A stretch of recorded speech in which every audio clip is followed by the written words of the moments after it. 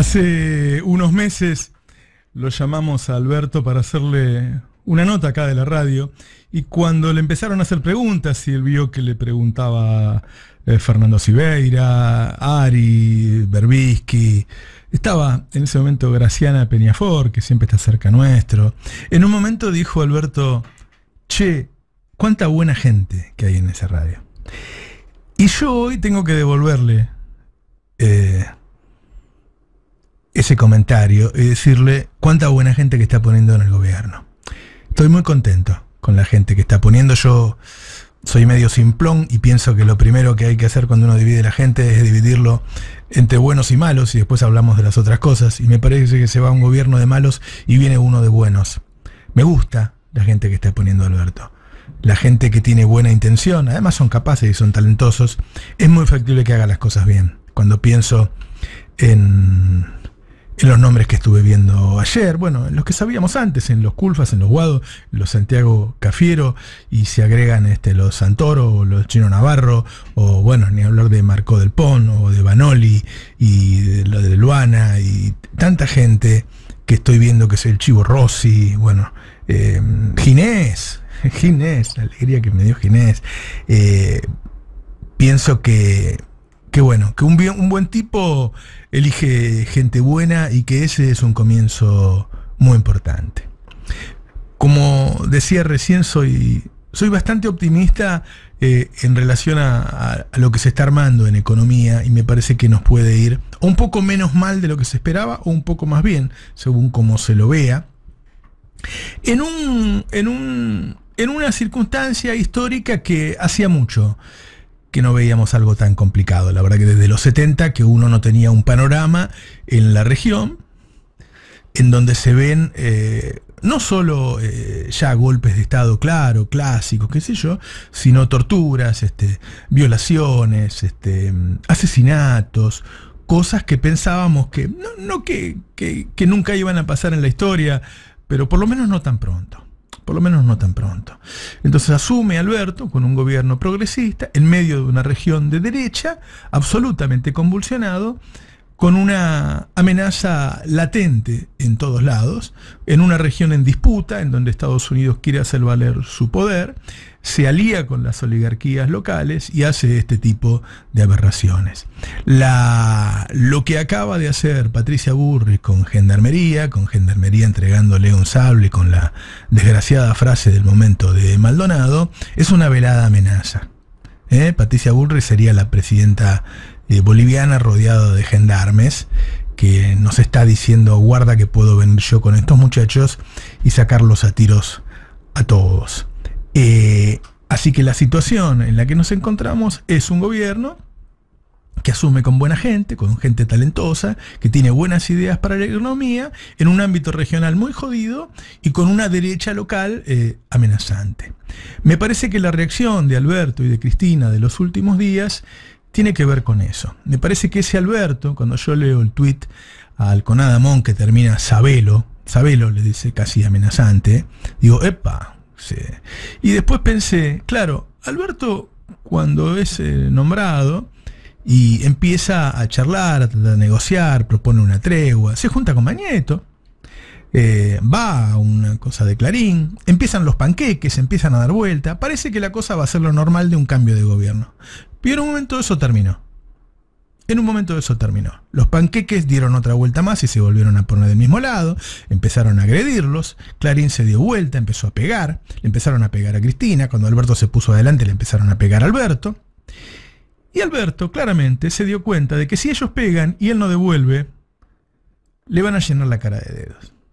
Y si todos los golpes van para el mismo lado, esa coalición tan virtuosa que tiene, puede dejar de serlo. ¿Por qué? Porque si los golpes van de todo todos para el mismo lado, nadie quiere estar del lado de los golpeados, prefiere estar del otro lado. Y algunos de los que están en coalición, hay que decirlo, porque estamos contentos con la unidad, pero sabemos lo que ocurrió, estaban del otro lado. Estaban en, eh, acá no hay ninguna grieta, acá hay perseguidores y perseguidos. Algunos estaban del otro lado. Entonces, si vos querés mantener una coalición fuerte, tenés que ser fuerte. Y tenés que devolver golpe a golpe. Y eso está haciendo Alberto. No hay tregua, no hay tregua. ¿Quieren pelear? Vamos a pelear. Y eso hizo Cristina en tribunales. No fue a decirle a los jueces, por favor, perdónenme, ahora tenemos el poder, negociamos. Fue y les dijo, ¿sabes qué? Las preguntas las van a tener que responder ustedes. Es decir, lo que estoy viendo es un panorama regional muy complicado, una derecha por fuera de la política, amenazante, pero un gobierno que se prepara con mucha habilidad, con mucha sapiencia y que está consiguiendo los objetivos que quería. Un Senado con una enorme mayoría, 42 miembros, una Cámara de Diputados ya con quórum propio, un muy, muy buen laburo. Me parece que lo que viene va a ser una batalla diaria por el relato de lo que va a ocurrir, por la narración de cada una de las cosas que van a suceder, por quién va a pagar las culpas de las carencias que vamos a seguir teniendo durante un tiempo, por las jugadas que va a hacer la justicia, por los ataques que puede hacer el campo o algún banquero o alguna energética. Es decir, vamos a estar golpe a golpe todo el tiempo, pero el equipo que se puso en la cancha es auspicioso, es de buena gente, es de gente inteligente, es de gente talentosa. Y la verdad que de acá al martes no veo la hora de poder disfrutarlo, porque guarda, antes de seguir peleando, disfrutémoslo, porque galamos dijimos que íbamos a volver y acá estamos. Dentro de lo que van a pasar en los próximos tiempos está esta batalla cultural. Nosotros nos venimos preparando desde hace tiempo, nos, como ustedes saben, somos una reacción a lo que ocurrió en los últimos cuatro años. Nos echaron, nos sacaron de los medios, tuvimos que arreglarnos solos.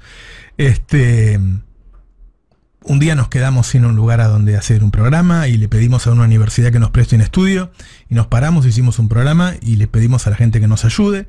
Esa universidad la otra semana nos llamó y nos dijo no le podemos dar más el estudio porque nos amenazaron que nos van a echar a todos a la mierda y nos buscamos otro. Y empezamos a pelear y armamos un canal de YouTube y armamos un portal que en octubre lo leyeron 9.800.000 personas y en noviembre ya lo leyeron 10.200.000 y armamos una radio y ahora compramos una FM. ¿Por qué? Porque así como hasta 2015 peleábamos con dos alambres, después peleamos con dos agujas de tejer, ahora vamos a pelear con medios más grandes. Porque la batalla es cultural, la batalla está en la información, la batalla está en el debate público y nosotros estamos en ese lugar para darlo.